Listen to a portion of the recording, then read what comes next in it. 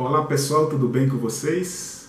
Lula deu entrevista à Rádio Progresso do Cariri. E é importante que a gente tente aqui no canal, com a tua ajuda, a tua ajuda é importante, amplificar, ampliar o alcance dessa fala, dessa entrevista de Luiz Inácio Lula da Silva.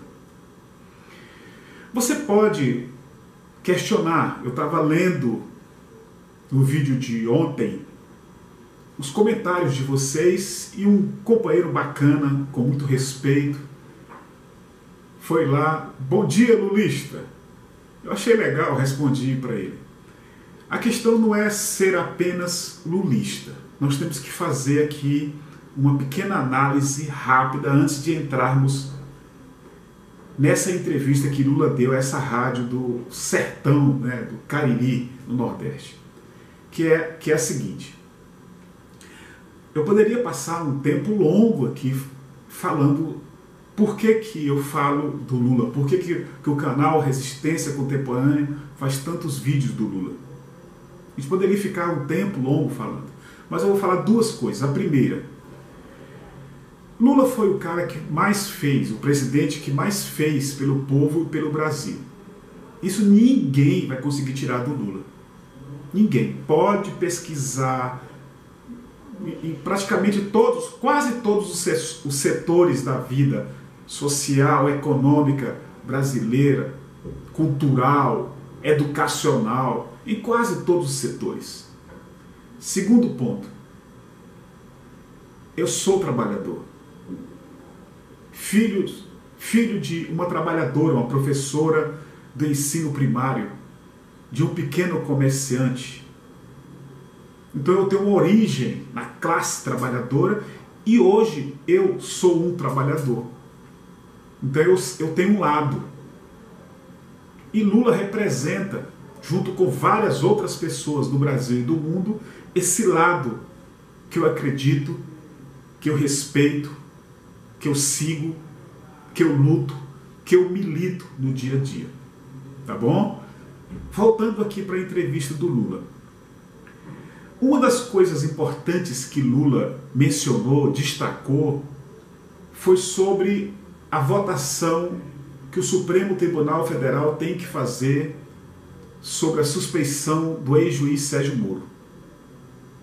Lula falou que para ele ser candidato depende do PT, depende da saúde dele e de Deus.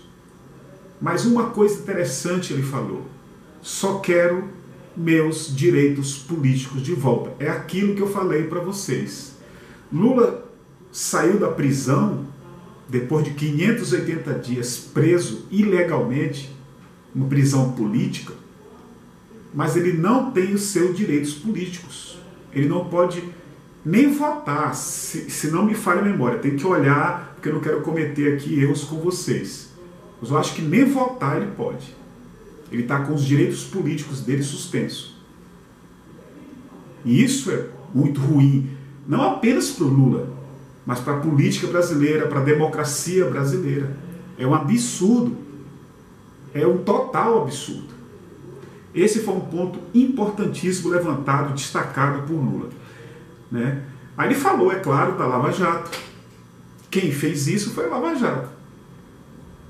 E, e, nós aqui não precisamos mais falar da Lava Jato. A Lava Jato é isso que a gente sempre falou aqui: uma espécie de um partido político que veio para ferrar com o projeto popular, para isso perseguir o Lula através do tal de lawfare. Outro ponto importante é a questão da comunicação, para a gente terminar. A gente volta ao primeiro ponto do vídeo. Por que, que a gente fala em tantos vídeos aqui no canal do Lula? Porque a mídia comercial que domina a comunicação de massa no Brasil não fala.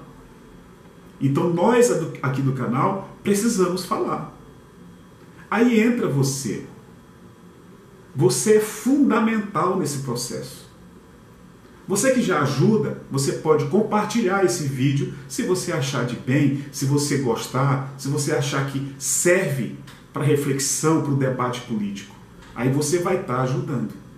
Quando você comenta, e vocês comentam bastante em nossos vídeos, você também está ajudando. Quando você chama as pessoas para participar do canal, para se inscrever ou para ser membro, você também está fazendo a tua parte.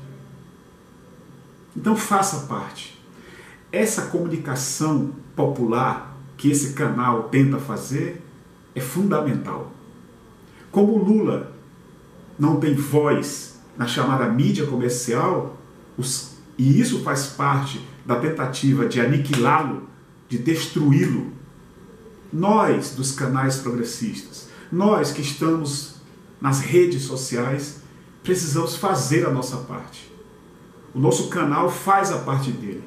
Praticamente toda semana tem um ou dois, até três vídeos sobre Lula. Faça a sua parte.